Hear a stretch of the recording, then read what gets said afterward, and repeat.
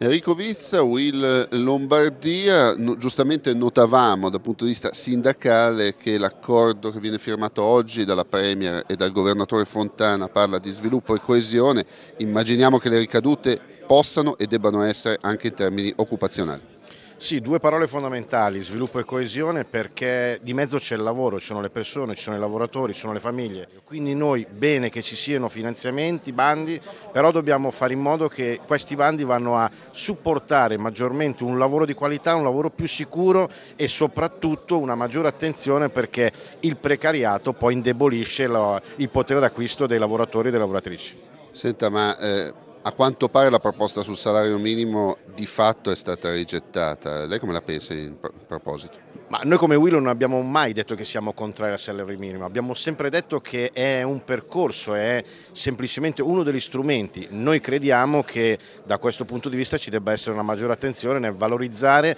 quello che è la contrattazione nazionale e noi aggiungiamo che, come abbiamo chiesto anche, purtroppo abbiamo portato anche a delle ore di mobilitazione, che venga valorizzata quella contrattazione di secondo livello che è quella che consente ai lavoratori e alle imprese di riuscire a aumentare il salario salario, quindi detassando gli aumenti salariali contrattuali secondo noi aumenta anche il netto in busta paga.